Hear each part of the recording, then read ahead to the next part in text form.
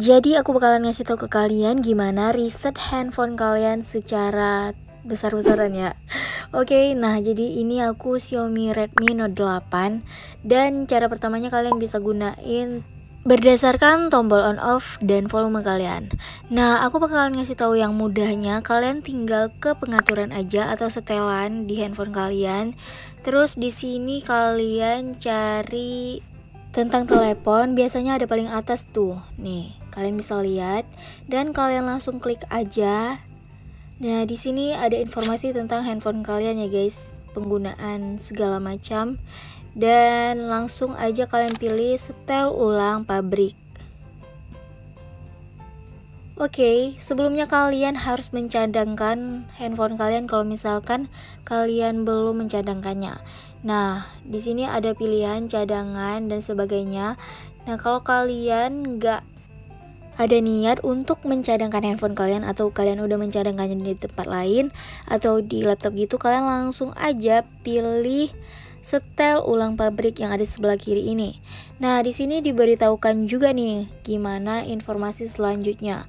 Kalau misalkan kalian menghapus semua data-data di handphone kalian, ini resikonya. Tapi kalian kalau nggak masalah langsung aja klik yang sebelah kanan ini dan kalian tunggu oke okay yang ada angka itu hitung mundur. Nah kalian tunggu sampai habis nih. Jangan gak sabaran kayak aku ya guys. Nah, pokoknya sampai habis angkanya langsung kalian klik OK dan langsung handphonenya otomatis bakalan di reset ulang ke pengaturan pabriknya. Nah, ini kalian tunggu aja jangan panik karena bakalan emang agak lama gitu loh guys. Ini bakalan lama dan nanti kalian bakalan ke pengaturan awal. Kalian lihat informasi yang ada di handphone aku yang ada di pertama tadi, wallpapernya, foto aku juga, aplikasi-aplikasinya juga masih banyak banget dan masih yang aku download-download. Nah, ini udah proses ya guys. Ini emang agak lama, sekitaran 10 sampai 15 menit gitu nanti bakalan hidup kembali. Nah ini dia. Kalian tunggu aja guys. Pokoknya handphone kalian otomatis meriset semua data-data kalian Menghapus sampah-sampah Dan mengembalikan ke pengaturan publik seperti semula kala. Seperti sedia kala atau seperti kalian membeli handphone ini sebelumnya guys. Oke, kita tunggu sampai 10 sampai 15 menit gitu.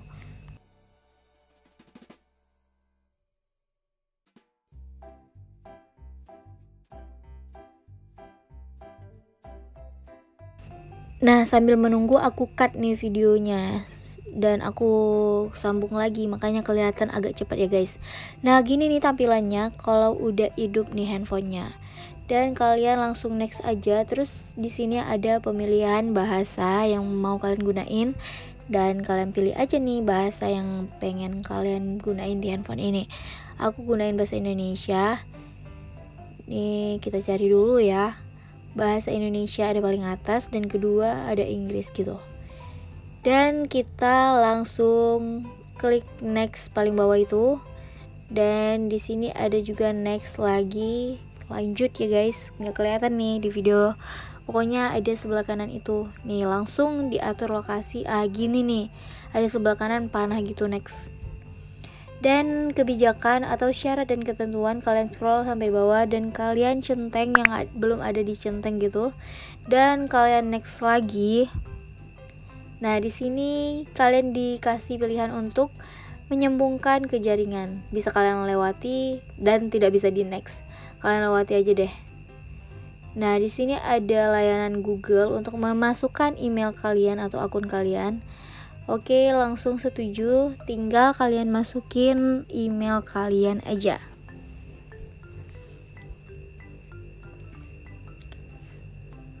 Dan ini berproses juga ya guys, agak lama gitu mungkin karena masih terproses riset juga, nggak tahu deh. Pokoknya ini agak lama juga aku nunggunya guys. Entah karena handphonenya juga udah berat ya guys. Aduh. Nah, kalau udah kalian bisa setel sandi dan bisa lewati tahap ini, langsung next kanan. Dan wallpapernya kalian setujuin. Nah gini nih bentuk wallpaper semula atau wallpaper awal dan pengaturan selesai. Kalian klik next lagi atau panah ke kanan itu. Dan langsung dimuat aplikasi apa aja bawaan handphone ini yang belum ada kalian download sama sekali. Dan bakalan keluar aplikasi-aplikasi yang direkomendasiin sama Redmi Note 8 ini atau uh, handphone-handphone Xiaomi gitu loh guys. Aplikasi-aplikasi standar gitu loh. Nah ini juga prosesnya agak menunggu juga ya guys. Dan langsung nih gini nih. Kalian bisa tunggu sebentar dan bakalan loading. Kemudian gini Kalian bisa lihat kan ini emang standar banget nih aplikasinya aplikasi Google dan ada aplikasi juga yang di-download sama uh, handphone ini kayak Lazada dan sebagainya.